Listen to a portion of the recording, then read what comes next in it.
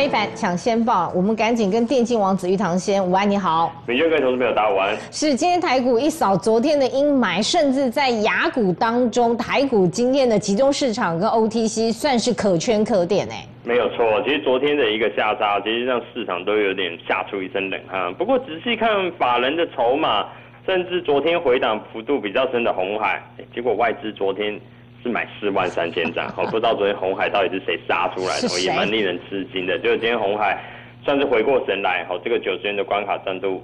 再度站上了。所以第一个，我觉得市场算是今天吃了一颗定心丸。那整体来讲，我认为多方的格局它没有改变，好，所以第一个拉回站在买方的一个方向是不变，好，只是未接这个是我觉得目前最重要需要考量到了。好，我们举例来看。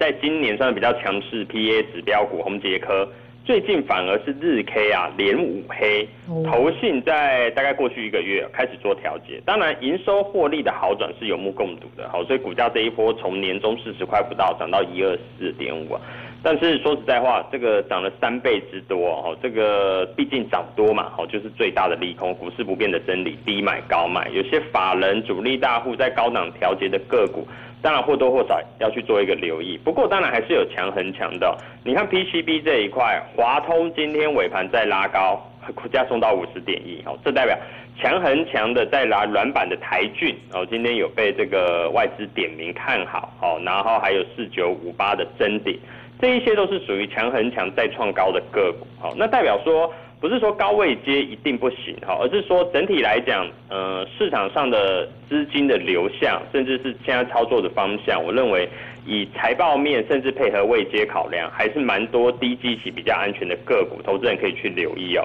像最近公布财报不错的易光，好，易光外资过去昨天我们也聊到嘛，连连连两个礼拜买超。那公布出来第三季的获利也不错哦，前三季赚了一块多。你看今天是从年线之下往上去做一个攻高的动作哦，因为时间周期拉长来看呢，易光真的处在非常低的位置。再来，你看到像是这个做连接器的三六零五的宏志，好，也是很标准的一打财报黑马股，好。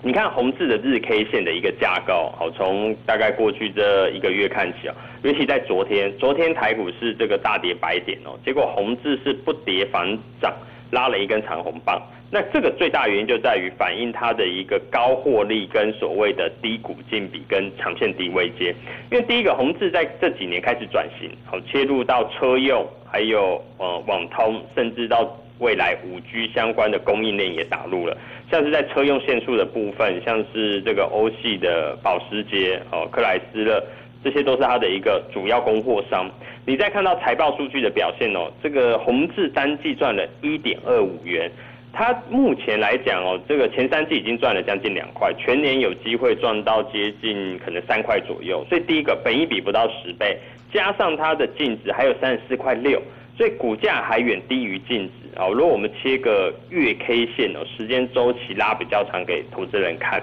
因为现在我认为在目前来讲哦，未接配合基本面在底部转强的个股哦，算是目前这个进可攻退可守的。你看宏志在。大概二零零九一零年，当时的历史高大概一百四十三，现在的股价才在二十九块钱附近。好，说真的，这已经是非常低的位置。好，加上在这个横盘整理了将近了快一年多之久。好，以月 K 的形态架构，也算是刚突破长线这个大底型的颈线，大概二十八块的位置。所以原则上，你看以目前来讲哦，这种获利能够有高度成长的公司，配合股价的一个形态架构是刚从底部爬上来的哦。其实，在后续性上来讲，能够反映所谓财报基本面的行情哦，我觉得是可以比较乐观去做一个期待。所以总结来说，第一点哦，现在的操作当然绝对是回归到基本面哦，但是我觉得。配合股价的位阶、股净比，哦，你都一并做考量。像是在 PCB 板当中，我认为也比较委屈的是三一八九的锦硕。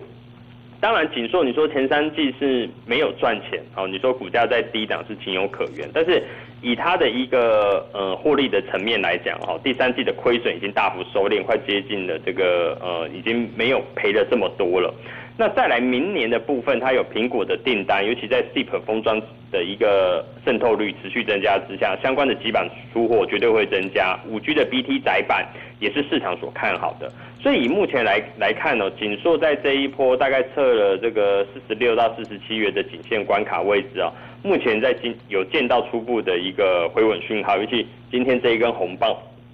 顺着整个 PCB 族群往上垫高的情况之下，它也算是股净比比较偏低的，哦，因为净值有五十五块六，现在股价在四十七块六，所以整体来讲这一类比较能够具备转机味道的个股，那相对来说底型它才刚打出来的，我倒认为在目前的操作，投资人还是可以密切多加留意啊。OK，那投资朋友在这个位置当中哦，当然其实大家本来就已经。很难安步当居嘛，因为这个位置，对不对？对，那这个位置哦，真的，你说二十九年新高，哦第一个，过去这一波没上车的，你说要他再上车，这个要买的下手，真的这个心理的呃关卡要去克服。好，那不管你说一二六八二会不会过，哦，这个至少现在的位置也会让，尤其你可能比较资深一点的股民哦，有所谓的万点的魔咒的一些呃。阴影也好，哈，我都会担心现在进场会不会套牢在相对的高档。当然我不会演哦，这个位置绝对不低，好，但是站在一个呃顺势投资的逻辑角度，既然趋势是多，那原则上我们操作心态还是偏多，只是说在。选股的方向，好，跟操作的一个，呃，应该说是策略上，好，我们不是去追逐所谓的一个已经涨多的强势股，而是在相对的低档区哦，投资人还是可以从近期公布的财报营收，挖掘一些在这个过去可能市场比较没有注意到，哎，相对。呃，股价在这一波也没涨到这些个股，当他们的营收获利冲出来之后，反而接下来哦，尤其现在的一个轮动架构之下，可以看得出来，目前的主流跟过去上半年啊前三季，我觉得已经不太一样了。好，反而一些比较在明年有展望题材转机性的个股，反而最近都冒出头。OK，也非常谢谢玉堂先跟我们进行电话连线，但。